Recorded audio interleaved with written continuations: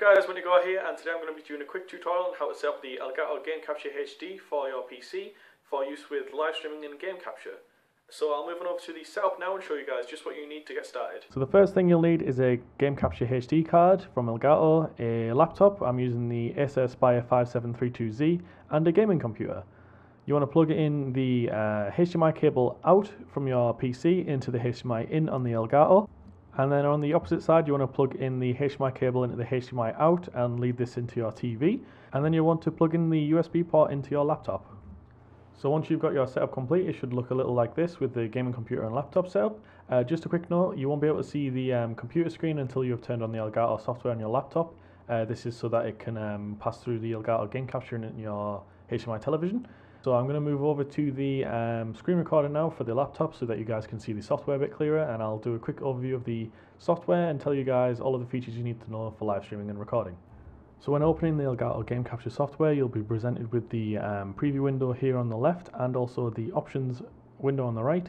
Um, to get into the preferences you click on the gear symbol up here on the top which we're going to look on now. So this is the Elgato Game Capture HD preferences. You're able to change the file location for where you save your videos here by clicking on either the change button or the reset button to reset it back to default.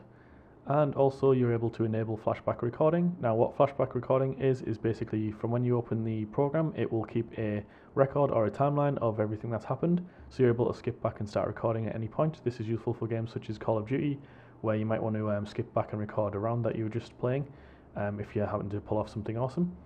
However, for live streaming, I'd recommend that you disable this option unless you have like a beastie computer or something, because um, it does take up a lot of processing power, keeping this uh, timeline running, or keeping the flashback uh, recording option on. The next setting I want to look into is um, the show device settings, which basically will allow you to change what type of input device you have. I use the Xbox 360 input device, even though I'm playing on PC, as basically this records at the same quality as the other option, which would be the only other type you could select for using a PC input. Um, this just means that I can switch between the two easily. Um, we're using a HDMI input here, so we'll have HDMI selected. And also the color range is just set as standard, and the profile is set as HD 720.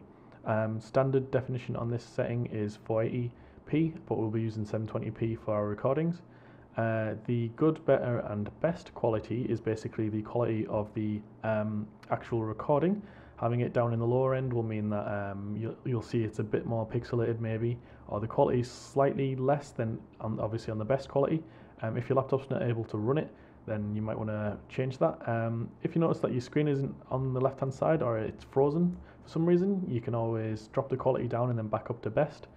And this will basically refresh the um, Elgato and it'll catch latch back onto the signal. So yeah, I keep this on best as I want the best recording quality from all of my um, footage that I take. The next option here is the game audio. Basically, this allows you to increase or decrease the decibels at which the game audio will come through. Um, for Xbox 360 users, this is usually the party chat and also um, other people talking, such as on Skype or TeamSpeak. Uh, so I keep like to keep this on a lower setting, as I can obviously increase or decrease the game audio in the actual game to make my um, party members a bit louder on the commentaries. So the next setting is for live commentaries. To start, you click on the live commentary icon here. Um, you also select your microphone by selecting uh, the little input tab here. This will allow you to select, for example, the yellow Yeti stereo mic, which I'm using at the moment.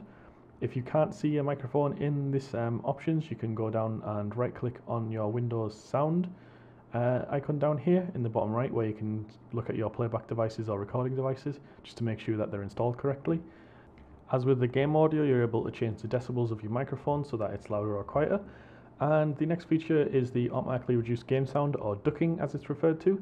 This allows you to automatically lower the volume of the game whenever you speak through your microphone. You can change the threshold and attenuation by clicking on the little tool icon there. And oh, oh one quick thing, you need to click on the um, microphone icon on the live commentary. It'll go green and you'll see obviously your levels bar here, which shows the volume of your voice coming through. Um, so know that it's working. So the next new feature for Elgato is the live streaming. This, um, if you want a live stream PC, is very, very useful as it means that on this setup you won't be using up any of your um, uh, processing power of your main computer, so there'll be no lag in game, so you can perform as best as possible. And basically, the first thing you want to do is create an account on Twitch TV. I know that there's plans to use XSplit for other sites such as YouTube and Livestream.com in future, so keep an eye out for that on my channel. And I'll be running some uh, tutorials on how to use XSplit with uh, the Elgato game capture card. So to add a new account, you can just click on the account tab here, um, which will allow you to choose from the multiple accounts that you might have for Twitch TV. Um, you can also click the plus or minus to add or remove an account. This will take you to a little browser from which will allow you to sign up or log in to twitch.tv to connect the account. Um, you can also click on the server. It's recommended that you pick the server with the lowest ping. For example, for me, it's London UK secondary. Um, this will um, basically pick the closest server to you, which will give you the best connection. Um, you can select a status message, which will allow you to um, change the title of the stream. And one of the next features, which is also one of the most important, is the uh, bitrate.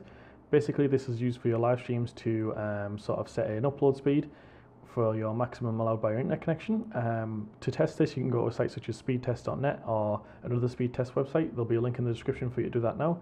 And um, basically, you want to set the megabytes per second and also the resolution to a um, quality amount, uh, to a feasible amount, what you'll actually be able to get out of your internet. So, for example, I have um, 3 to 4 megabytes upload speed, so I've set my stream at uh, 2 megabytes per second at 720p. This um, allows me to give a good quality stream out to people. You can also change the maximum resolution types, for example, lowering it to 480p but still streaming out at 2 megabytes per second. Um, you'll notice that when I drag the slider there, the um, resolution automatically changes on its own. This is to basically suit to the, what um, Elgato basically think is the best uh, resolution speed to use for their software.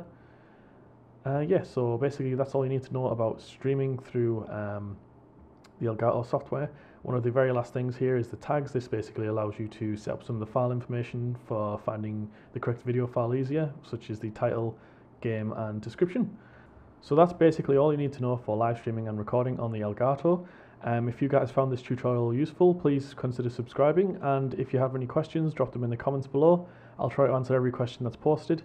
If you want to take part in events on the Xbox 360 and PC, follow me on Twitter or Facebook, and also twitch.tv for live streams.